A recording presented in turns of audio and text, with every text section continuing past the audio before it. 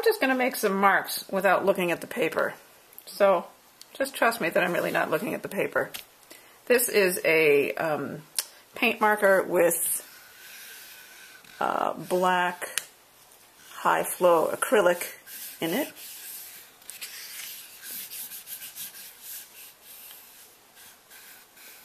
And I'm using my right hand. I don't even know if I'm on the paper or not. I think I'll just switch. I'm a little more comfortable with the left, maybe. Okay, now I'm looking. There's number one.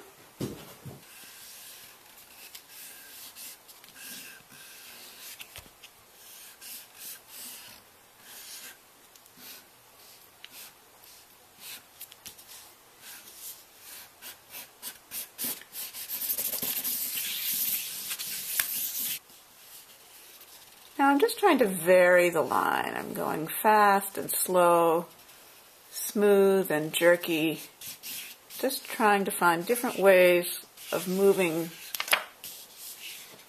this marker on the paper.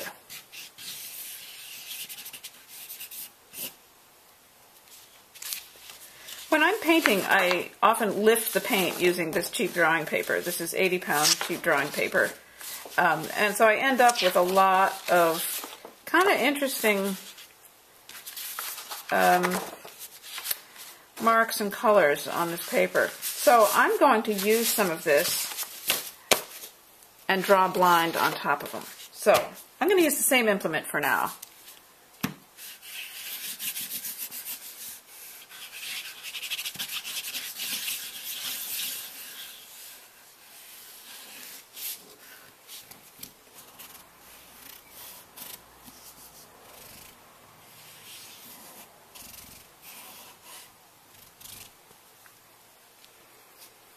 Oh, I don't know where I'm going to start. I'll just start drawing. I don't even know if that was on the paper.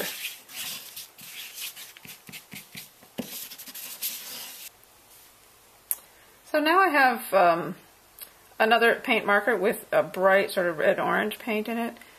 I'm going to, I'm looking at the page, I'm going to start up here. Now I'm going to close my eyes and do another kind of brief blind scribble. I'm going to make it kind of spare.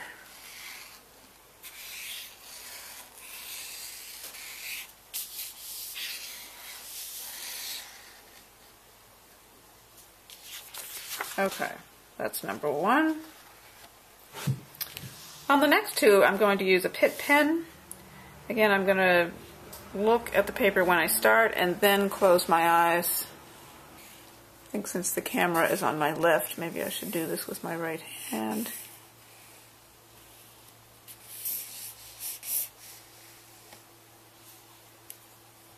I like this one a lot. Hmm. Uh, I'll start over here. Okay, now I'm closing my eyes.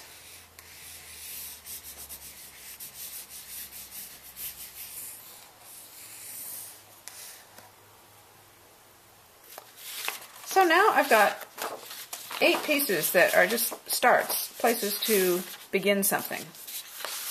And so I'm going to sift through them and find a couple that, that I might like to develop.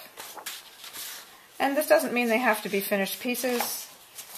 It's just something that calls me to do something else. Something that might sort of exercise my mark making skills. I'm going to take a white paint marker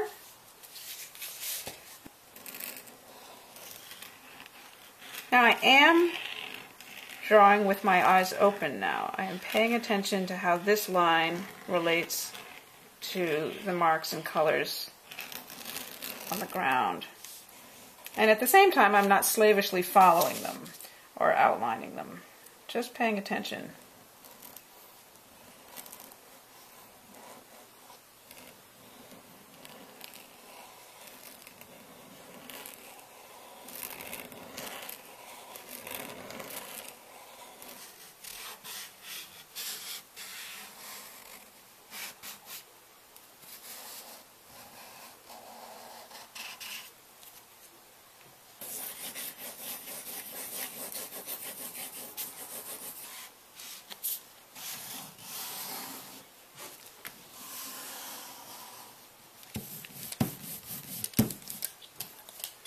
I'm going to just begin layering some paint. It's just white paint layered with a brayer. And with the brayer, you can apply the paint, and then it also has a sort of lifting effect. You get the excess off your brayer and then apply some pressure so you can build a really veiled kind of layer.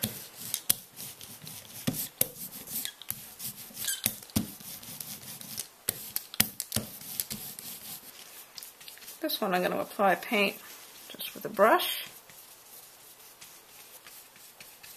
And I don't know where I'm going with this. I'm just trying different things. This is sort of uh, just free experimentation.